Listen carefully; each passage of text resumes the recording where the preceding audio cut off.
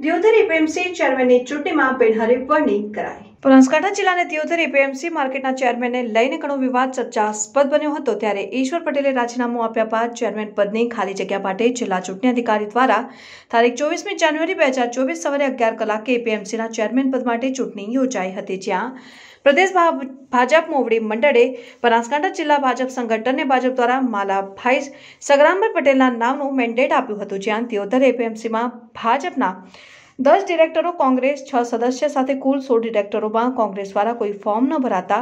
ચૂંટણી અધિકારી બનાસકાંઠા દ્વારા દિયોદર એપીએમસી ચેરમેન પદ માટે એક જ ફોર્મ રજૂ કરાયું હતું જ્યાં માલાભાઈ સગરામભાઈ પટેલના ફોર્મને માને રાખીને ચૂંટણી અધિકારીએ ચેરમેન તરીકે બિનહરીફ તરીકે જાહેર કરવામાં આવ્યા હતા. ભાજપ શાસિત દિયોદર એપીએમસીના ચેરમેન તરીકે બિનહરીફ વરણી જાહેર કરાતા દિયોદર કોંગ્રેસના પૂર્વ ધારાસભ્ય શિવાભાઈ પુરિયા નવનિયુક્ત ચેરમેન માલાભાઈ પટેલે ફુલહાર પહેરાવીને સ્વાગત કરીને અભિવાદન પાઠવ્યું હતું અને પેંડા ખવડાવીને મોં મીઠું કરાવ્યું. દિયોદર એપીએમસી ચેરમેન પદ માટે બિનહરીફ વરણી કરાતા ભાજપના આગેવાનો કાર્યકરો મોટી સંખ્યામાં ઉપસ્થિત રહ્યા હતા, જ્યાં નવનિયુક્ત ચેરમેનના સમર્થકોમાં ખુશી જોવા મળી હતી.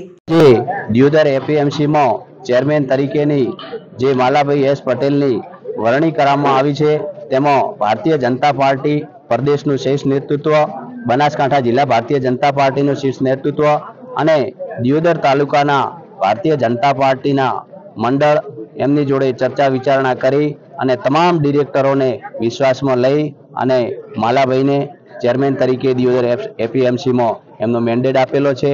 આગામી સમયની અંદર માલાભાઈ આ માર્કેટનો વધારેમાં વધારે વિકાસ કઈ રીતે થાય અને આ વિસ્તારના ખેડૂતોને વધુમાં વધુ લાભ કઈ રીતે મળે એવા પ્રયત્નો કરશે એવી અભ્યર્થના સાથે જય હિન્દ, ભારત માતા કી જય.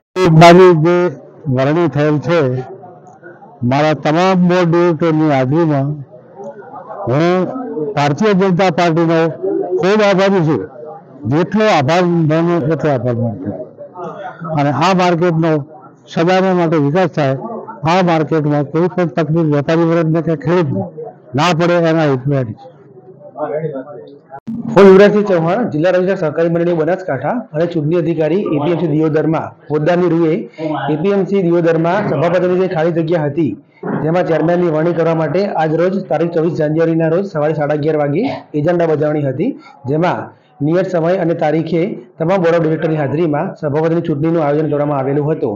તમામ બોર્ડ ઓફ ડિરેક્ટર હાજર હતા, જેમાં ત્રણ વારની પોકારના અંતે ફક્ત એક જ ઉમેદવાર પટેલ માલાભાઈ સગરામભાઈએ ઉમેદવારી નોંધાવતા અને અન્ય કોઈ ઉમેદવારે ઉમેદવારી ન નોંધાવતા તેમની પટેલ માલાભાઈ સગરામભાઈની ચેરમેન તરીકે બિનહની વરણી કરવામાં આવી હતી. અને આજના એજન્ડામાં આ એક જ સભાપતિની વરણી બાબતનો એક જ એજન્ડા હોય, ચૂંટણીના અંતે સભાને પૂરી કરવામાં, જાહેર કરવામાં આવી હતી.